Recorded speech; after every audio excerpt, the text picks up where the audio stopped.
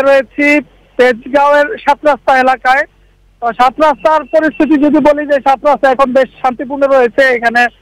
এক পাশে পুলিশের অবস্থান রয়েছে সামান্য পরিমাণে এবং অন্য পাশে বা স্থানীয় যে কাউন্সিলরের নেতৃত্বে আওয়ামী লীগ এবং অঙ্গ সহযোগী সংগঠনের নেতাকর্মীরা, তারা অবস্থান নিয়েছে, তবে তাদের সংখ্যা আসলে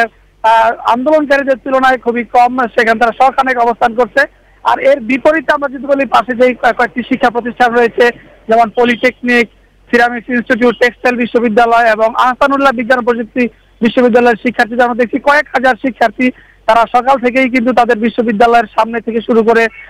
যে তেজগাঁওয়ের বিভিন্ন এলাকা তারা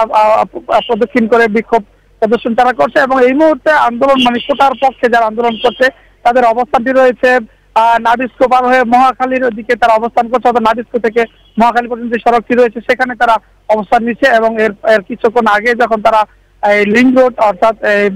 বিজয় সরণির যে বিজয় সরণির লিঙ্ক রোড দিয়ে যে মিছিলটি তারা করেছে, সেখানে কিছু আওয়ামী লীগের একটি কার্যালয় ছিল, সেখানে সামান্য ভাঙচুর হয়েছে এবং কয়েকটি দোকানপাটও বা- ভাঙচুর করেছে, এমন অভিযোগ আমাদেরকে কয়েকজন করেছেন। তবে তারা মুহুর্মুর স্লোগান দিচ্ছেন যে কোটার সংস্কারের দাবিতে এবং বিভিন্ন দাবি এবং বিভিন্ন সারা দেশের বিভিন্ন জায়গায় যে